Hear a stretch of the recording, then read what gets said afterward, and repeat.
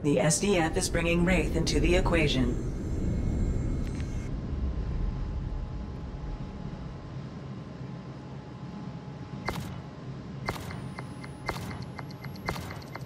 I am moving. Team deathmatch.